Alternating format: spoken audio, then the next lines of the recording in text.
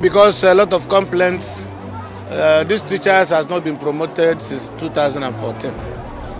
And uh, in trying to address the issue, we discovered some challenges and difficulties occasioned by the inability of the system to say exactly the number of uh, secondary school teachers we have.